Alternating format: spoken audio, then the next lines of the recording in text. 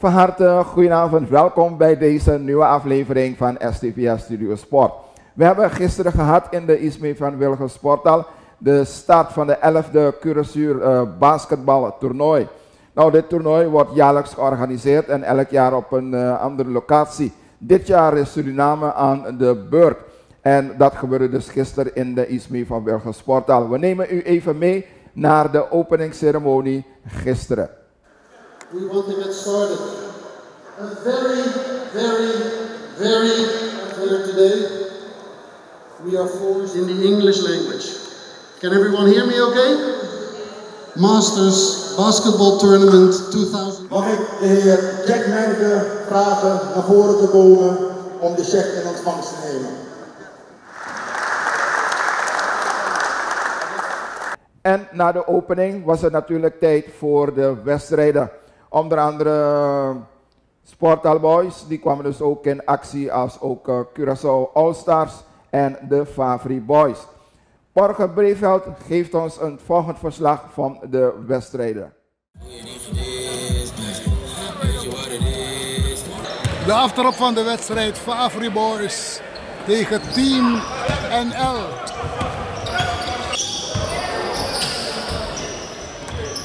Hesdy Lens scoort.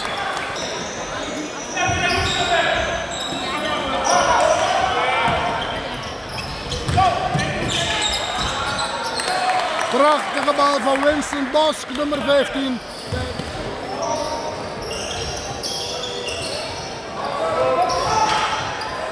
En Tonk scoort.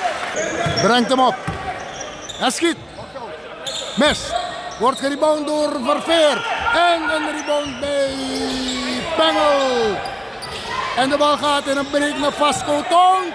En Vasco Tonk maakt er 67 van.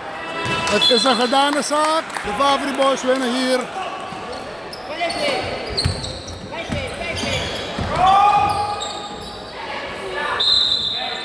En een basket.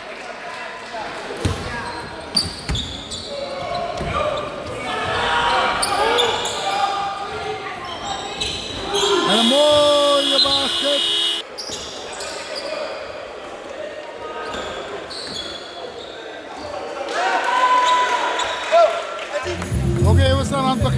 de wedstrijd. Waar de Curaçao All-Stars tegen de Sport Boys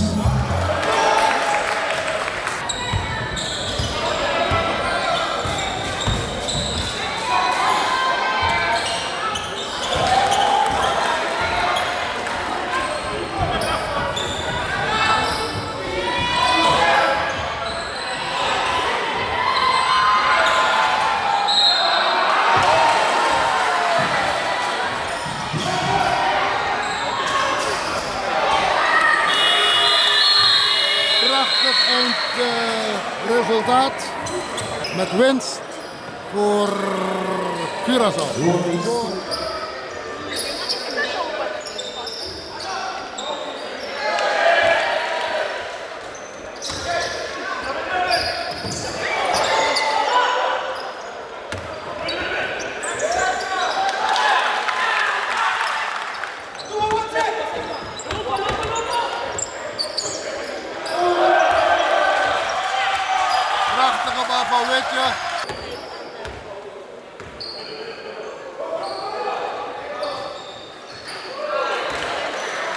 Waterval, score.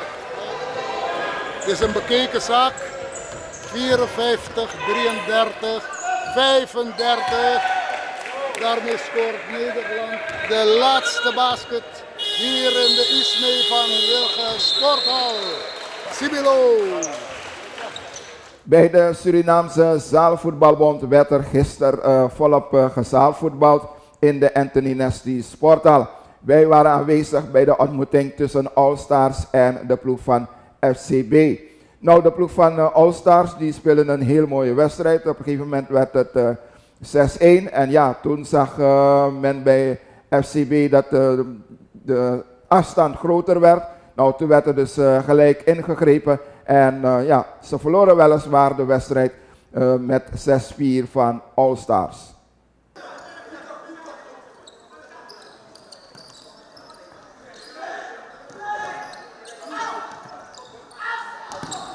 Stars.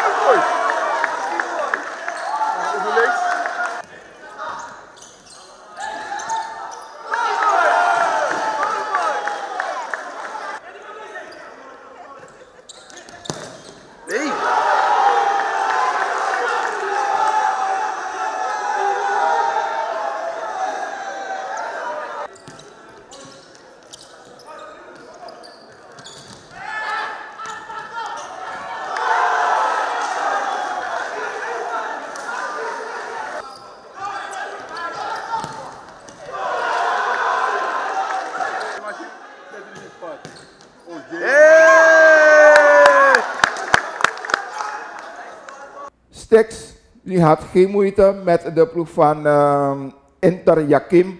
Het werd een 24-2 overwinning. Nou, de mensen in de Anthony Nesty Sporthal die zaten dus lekker te genieten van uh, prachtige doelpunten tijdens deze zaalvoetbalontmoeting tussen Stix en Inter Jakim.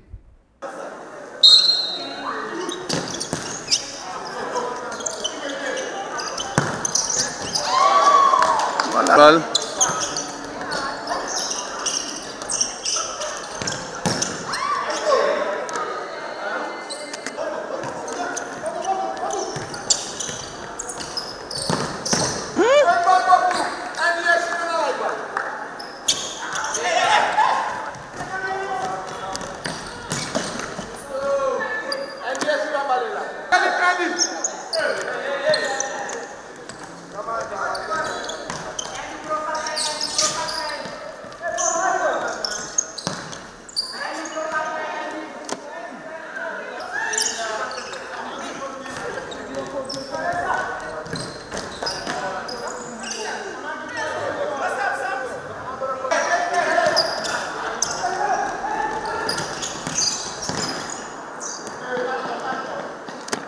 Onze nationale selectie is momenteel in Miami om zich verder voor te bereiden op de belangrijke wedstrijd zaterdag aanstaande in Jamaica tegen Jamaica. Nou, uh, het loopt allemaal vlot met de trainingen van onze nationale selectie. Het ziet er heel goed uit. En uh, ja, de gelederen, tenminste de sfeer in het team is heel goed. En vele van de spelers kijken natuurlijk uit naar de ontmoeting uh, zaterdag aanstaande in Jamaica tegen Jamaica. We gaan voor een uh, goed resultaat, uh, of tenminste gelijkspel. En als we Jamaica kunnen verslaan, boy, that's good. Dat is onze nationale selectie, onze U20 selectie. Ja, helaas, we zijn weliswaar op de tweede plaats geëindigd. Maar het is toch wel een goed resultaat voor die U20 selectie. Die heeft meegedaan aan het CONCACAF toernooi daar in Miami. De laatste wedstrijd verloren ze dus van uh, de Verenigde Staten van Amerika. En nog wat twee van de spelers die hebben zich ook aangemeld bij onze nationale senioren selectie.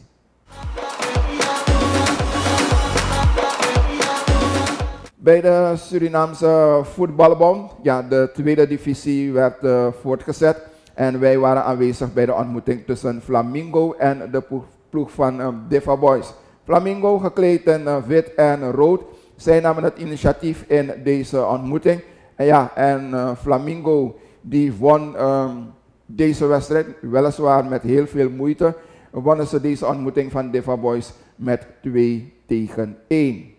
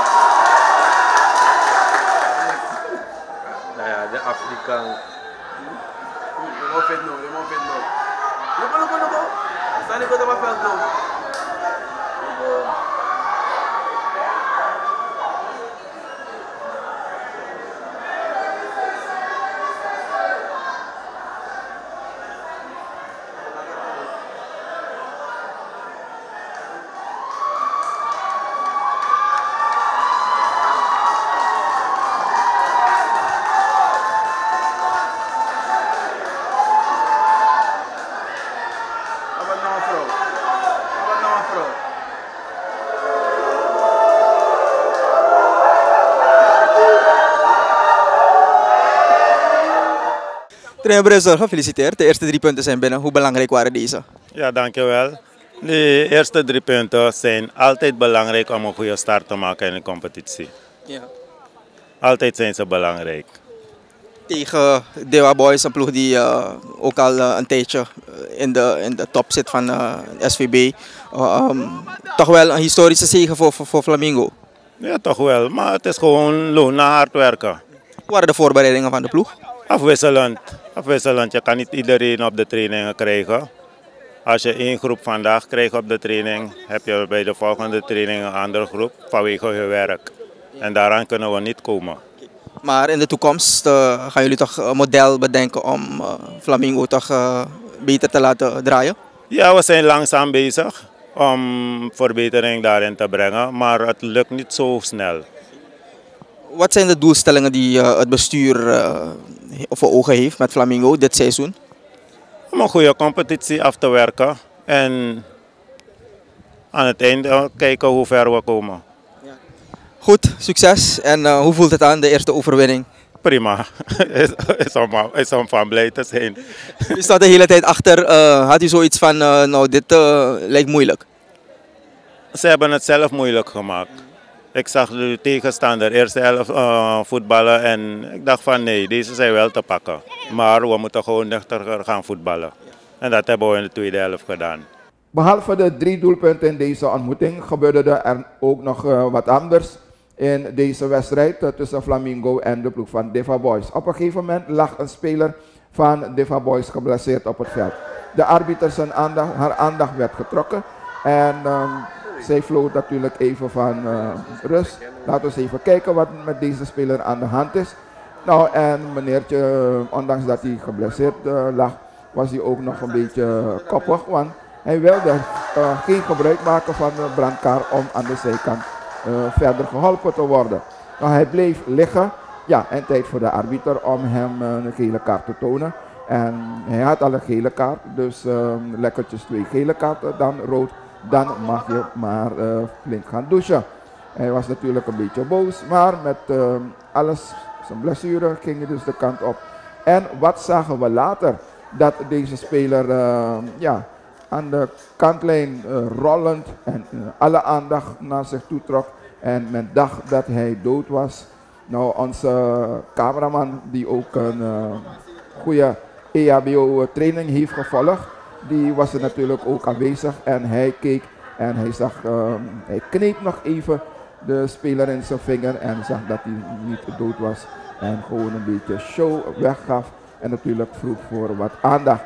Helaas, eh, wat jammer is dat er geen medische hulp aanwezig was om precies te constateren wat met deze jongeman aan de hand was. Uiteindelijk eh, werd hij toch eh, weggedragen door de mensen van Diva Boys. En we hopen natuurlijk dat eh, alles oké is met deze jongeman. En we zijn benieuwd wanneer hij voor de strafcommissie zal verschijnen, wat zijn verhaal zal zijn.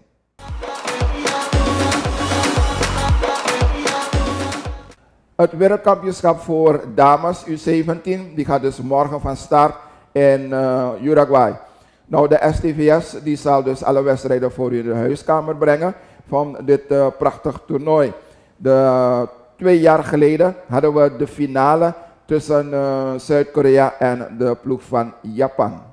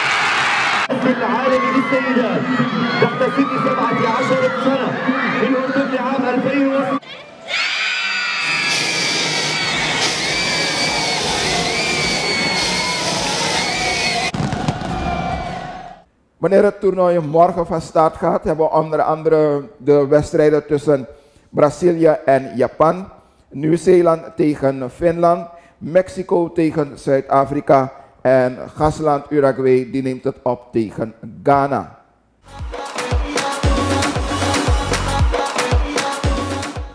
Bij de U17 damesselectie van Brazilië is er toch wel één uh, schieter en dat is de linksback Giseli. Zij is 16 jaar oud en ja, uh, eigenlijk uh, speelde ze zaalvoetbal. Maar ja, ze kwam niet aan het trekken, want er waren meer jongens dan meisjes. En ze probeerde het later nog toch wel met uh, zaalvoetbal. Op 13-jarige leeftijd ging ze weg van haar ouders. En op zoek naar, want ze wilde echt profvoetbal spelen. Ze wilde meer, ze vond dat, dat ze toch wel talent had om verder te gaan met voetballen. Nou, ze kwam terecht op een gegeven moment in Maranhão. En ze bleef niet lang in Maranhão. Van Maranhão ging ze richting Sao Paulo. En van Sao Paulo naar richting Santa Catarina. Nou, deze, daar uh, ze nu. En Capoquiensi, daar voet ze dus voor deze ploeg. En ze doet het tot heel goed. Nou, wat ze niet wist, uh, ze zei ja, ik kwam later de ontdekking dat er ook een nationale selectie van Brazilië is voor dames U17. Ze zegt ja, omdat damesvoetbal in Brazilië niet echt populair is. Ik ben nu geselecteerd voor de selectie en uh, men moet naar me uitkijken, want ik ga het heel goed doen. Ze zei trouwens ook van uh, tijdens het wereldkampioenschap de 2014 zat ze naar de wedstrijden van Brazilië te kijken. En ze zei tegen haarzelf, eens zal ik een wereldkampioenschap voetbal meemaken. En dat gebeurt nu in uh, Uruguay. En we zijn benieuwd, u moet deze jonge dame, Giseli van Brazilië, ze is linksback en 16 jaar oud, uh, tijdens dit toernooi flink in de gaten houden.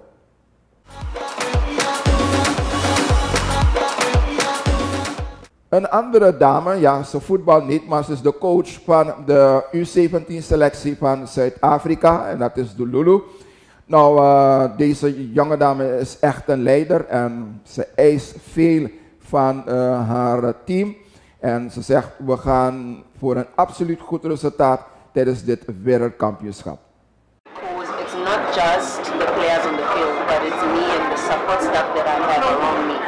He's been to the World Cup, he has the experience, and with him, he's not coming in to say to me, do this, do that, but he's here to say why this decision and what are your plans in that?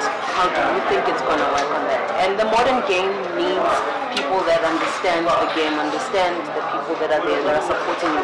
Because at the end of the day, I don't just want to be in a space where I make all the decisions on my own and it's my way or the highway. It's not my team. That's the first thing that I understood. It's the nation's team. En dan de La Liga, de Spaanse competitie. De ploeg van uh, Barcelona die nam het op tegen Real Betis. Ja, en uh, ja, binnen een paar minuten was het al uh, 2-0 voor Real Betis. En ja, het werd nog erger voor de ploeg van Barcelona. Uiteindelijk verloren ze deze ontmoeting. Ja, en ook nog een blunder van uh, Ter Stegen. Nou, eerder had hij aangegeven, hij is niet meegegaan met de selectie van Duitsland. Dat hij nog wat rugpijnen had en daarom ook gebleven is in Spanje. Maar hij stond dan gewoon in het doel van Barcelona. Ze verloren deze wedstrijd, ondanks de terugkeer van Messi in de basis van Barcelona. Betis visited the Camp Nou on Sunday afternoon to take on La Liga leaders football club Barcelona. Betis haven't uh, beaten Barcelona in La Liga for 10 years.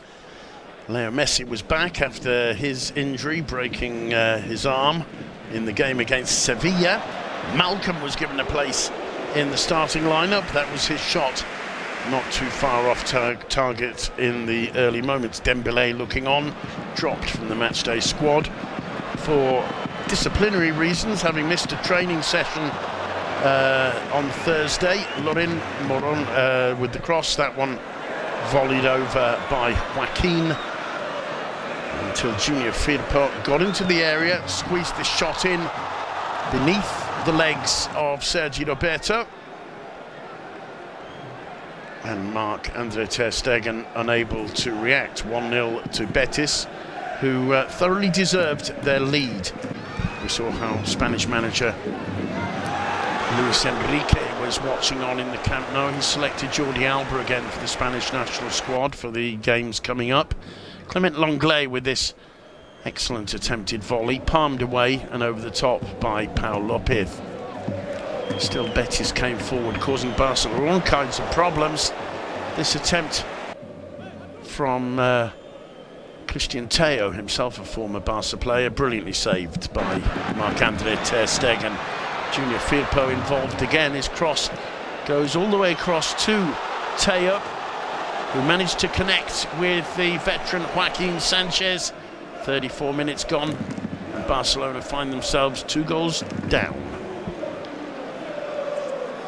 Joaquin squeezing that just inside the post there, giving Ter Stegen no chance. Intelligent finish.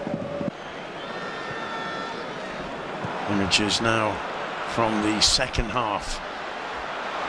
Valverde had brought on Arturo Vidal to replace Arthur for the second half. Leo Messi got a bit more involved. That one not too far wide of the post. But at the other end, Betis always a threat. Tello here. Somehow that one racing away wide of the far post. And this was a moment where Barcelona were able to get back into the game. It's uh, a rather innocent challenge from Cristian Tello on Jordi Alba, just doing enough to unbalance the Barca left back, clearly in the area. Penalty was never questioned, and nor was the execution from Leo Messi to get Barcelona right back in the game. 2-1 and 22 minutes still to go. Betis continued hitting Barca on the break and uh, inexplicable error by Marc-Andre Ter Stegen allowed Giovanni Lo Celso to re-establish the two-goal lead. 3-1 to Betis. Ter Stegen won't want to see that one on too many occasions. So unusual for the German keeper to commit an error like that. Still Barcelona fought on. And the two substitutes, Munir and Arturo Vidal combining. No question that Munir is onside, nor that Vidal is two. 3-2.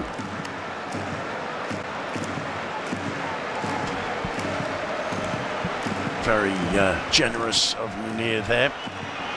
And Vidal making no mistake. Rakitic had picked up a yellow card earlier in the game. He'd get his second yellow card for this challenge, leaving Barcelona with 10 men. Just when they were pulling themselves back into the game by the bootstraps, Junior Firpo would get the assist. As Sergio Canales, who came on in the second half, made it 4-2 to Betis. Firpo had a superb performance as wing back down the left, playing in a more defensive role in the second half, but involved, very much involved in the attack that led to that fourth goal. Before Messi would pull one back for Barca in stoppage time.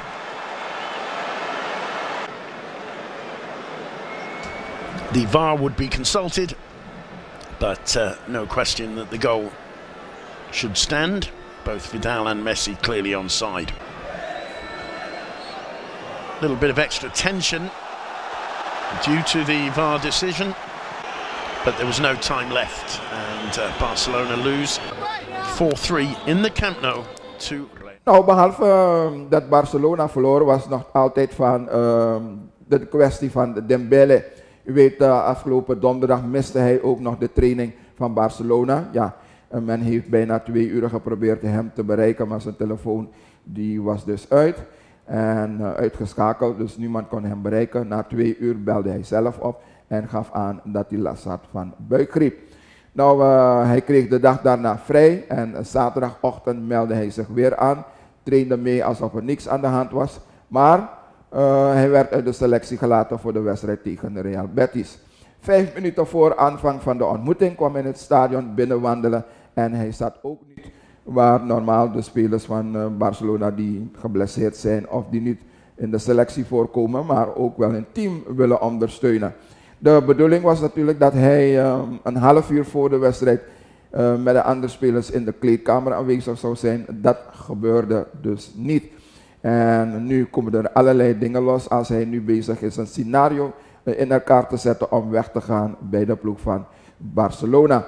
De coach van uh, Frankrijk, Deschamps, die heeft aangegeven dat hij precies weet, uh, of hij kent het gedrag van Dembele, waarom hij laat komt. Hij zegt dat heb ik ook bij de Franse selectie. En zijn excuus is, Dembele zijn excuus is, ja, anderen doen het ook, ze komen ook laat. Maar alleen van mij wordt er gezegd dat ik laat kom, maar van anderen niet. Ja, terecht of onterecht, in elk geval zegt de coach van Frankrijk, ik hoop dat hij dat achterwege laat. Hij is nog jong en heeft een hoopvolle toekomst voor zich.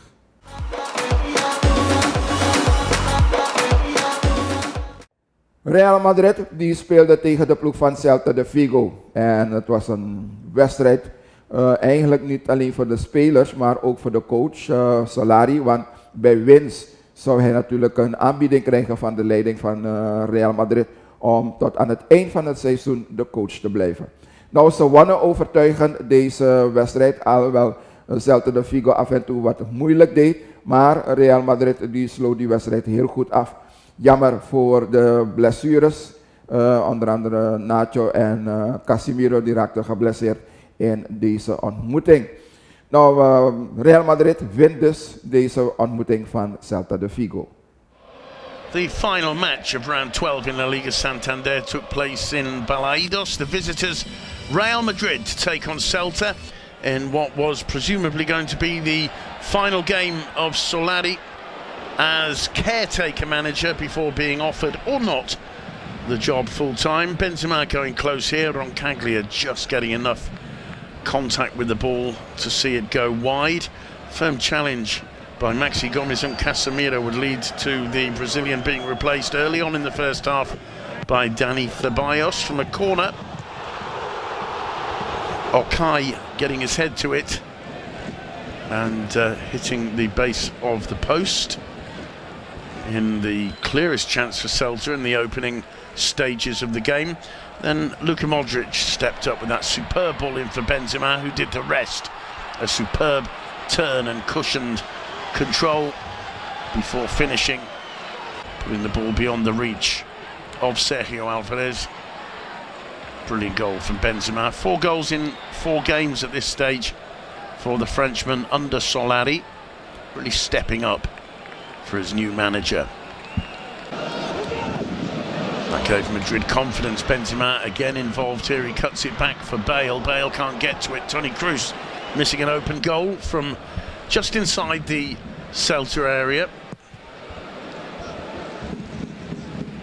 Not Kroos's best attempt. It was a niggly game at times, plenty of firm challenges, the conditions underfoot slippery. Brais Mendez forcing an excellent save out of Thibaut Courtois.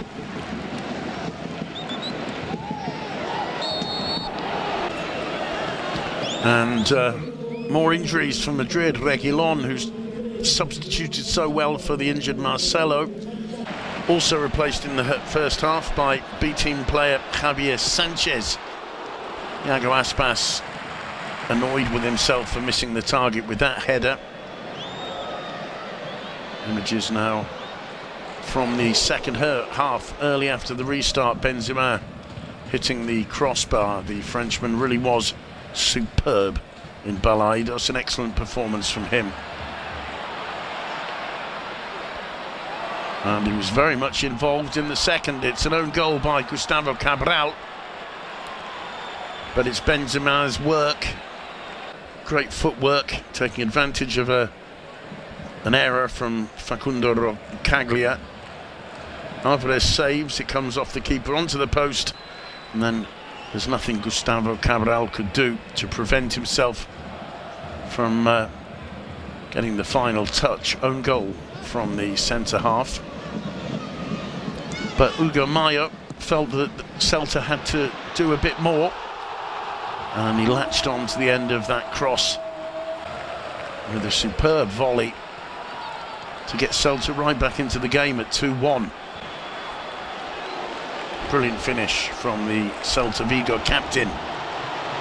Iago Aspas involved here. His shot forcing an excellent save from Courtois. He didn't have too much to do, but was forced into two or three saves. Nacho would become the next Madrid player, unable to carry on. He was replaced by Marco Asensio and Lucas Vazquez would fill in at left back for the rest of the game. Firm challenge there on Odriozola. And for the second week on the trot, Sergio Ramos scoring from the penalty spot with a so-called Panenka style finish. Very risky to try it twice in the space of a week. Gustavo Cabral would see his second yellow card late in the game, leaving Celta to finish off with 10 men. This challenge on Javi Sanchez.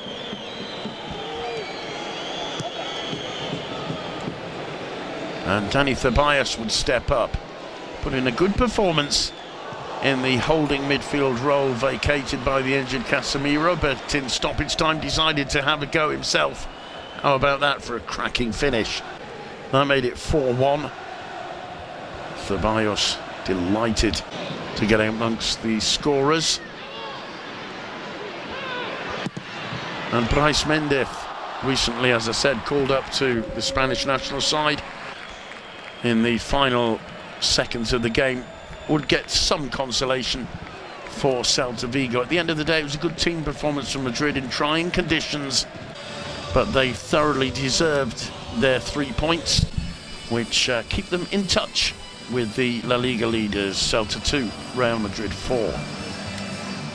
Goed nieuws voor uh, Solari, de coach van uh, Real Madrid. Want het bestuur van uh, Real Madrid heeft vanmorgen besloten dat Solari mag aanblijven tot aan het eind van het seizoen als coach van Real Madrid. Gezien ook de resultaten van de afgelopen dagen in de Champions League en ook in de Spaanse competitie.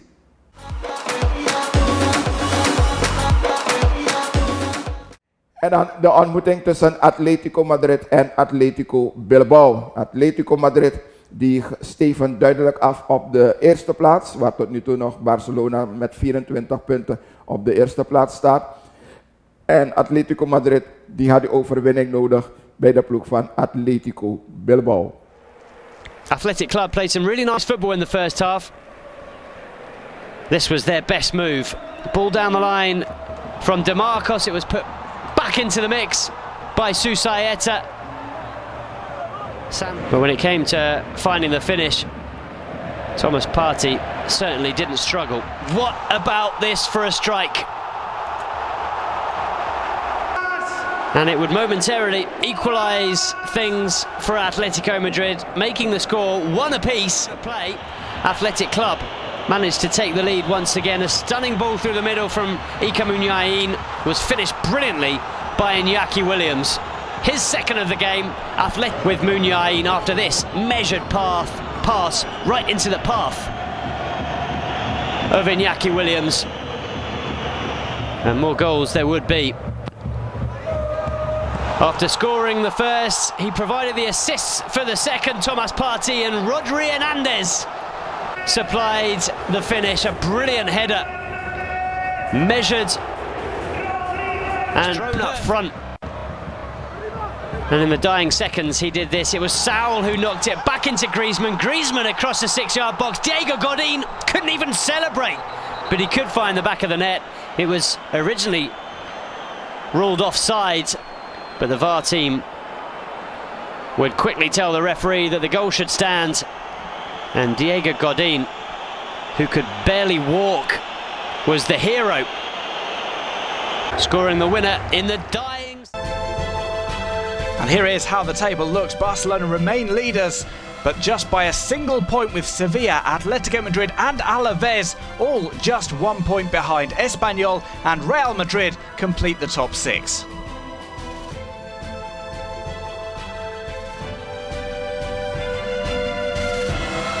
At the bottom, it's Huesca, Rayo Vallecano and Leganés in the relegation zone. In de NBA hebben we een live programma gisteren gehad. En we gaan naar de highlights van een uh, aantal wedstrijden in de NBA. Atlanta Hawks in LA taking on the Lakers. That's NBA Commissioner Adam Silver in Los Angeles. And LeBron James getting ready to lead his team against the Hawks. First quarter action. For the Lakers, off the turnover, Rondo in the open court with his head up, lobs it up. LeBron James throws it down. Lakers cooking in transition. This time, LeBron James hammers it home again. The Lakers led by as many as 15. We take you to the fourth quarter where Trae Young is taking over and bringing the Hawks all the way back. Young for three. Trae Young, the rookie, never bashful with his shot, knocks down another three. Now Trae Young blows past the defense, finds Alex Len with the pretty bounce pass. Young will get another shot, this time from deep, from the Logo. Young finished with 20 points and 12 assists, including that shot from the Logo. And now the Hawks are up. All right, well, Hawks have the ball, turn it over. Lakers with it and push the pace. Kyle Kuzma with the finish in transition for the tie. After the play, Kent Bazemore is called for a technical, so the Lakers are up 105 104. Fourth quarter, Young finds Vince Carter, who throws it down, and now the Hawks are up one. LeBron James at the line after missing the first. LeBron misses again. Kyle Kuzma stays with it for the rebound puts it back up, misses. LeBron James is there, flies in for the dunk. LeBron had 26 points, 7 rebounds. Lakers up 107 106. Trae Young with the ball. Last chance for the Hawks. He goes up, swatted, denied. Tyson Chandler with the monster block to save the game. And the Lakers go on to win at home 107 to 106.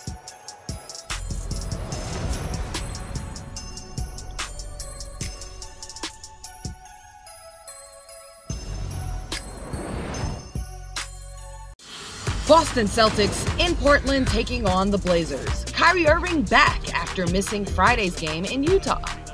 All right, first quarter. Portland controlling the first half. Damian Lillard drives, gets it to Nurkic for the one-handed dunk. Damian Lillard fingerprints all over the game as he gets to the cup. Tough layup. Blowing past the defense and in traffic. Lillard finishing. This time, a miss for Lillard, but who's there? Jusuf Nurkic gets the rebound and the putback. Nurkic had 18 points, 17 rebounds in the game, and at halftime, Portland was up 20. All right, second half. Prior to the third quarter, Nurkic dunks and hangs on the rim, but he makes the rim crooked, so the game would have to be delayed in order to just simply balance the basket back. All right, back to action. The Celtics start to fight back, as they tend to do. Jayson Tatum for three. And then Tatum with another shot. That one was tough over the defense. And his teammates love it. Tatum had 27 points in the game. Damian Lillard gets the drive in the layup. He finished with 19 points and 12 assists. A 10 point game. All right, fourth quarter. Celtics. Gordon Hayward finds Jaylen Brown for the three. Celtics roaring back. They can be a great come from behind team. Irving, 21 points in the game. It's a one point game. Damian Lillard kicks it out to Al Farouq Aminu, buries the deep three. And the Portland Trailblazers hang on for the win.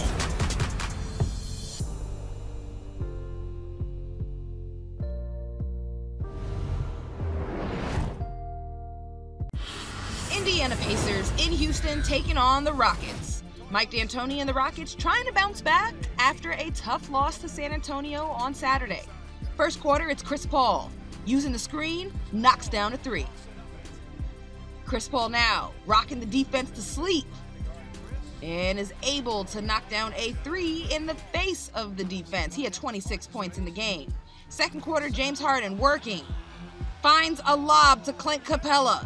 Great two man game as Clint Capela finishes it over defenders for the dunk and the foul.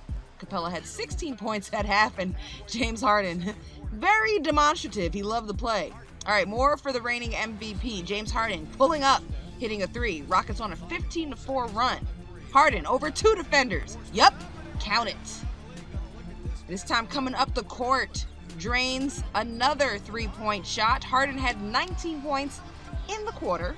24 points at halftime. Houston up big. First half winding down. Chris Paul and lulls the defense to sleep, knocks down that three, falling down. Highest scoring first half of the season for Houston. They hit 14 threes. At halftime, they were up 22. Second half, third quarter. That's Oladipo for the Pacers. But the Pacers would not cut the deficit any closer than 10. It was all Rockets. James Harden with the three and the foul. And then in the fourth, with seconds left, woo, big step back, creates a lot of space. He finished with a season high 40 points, and the Rockets get the win.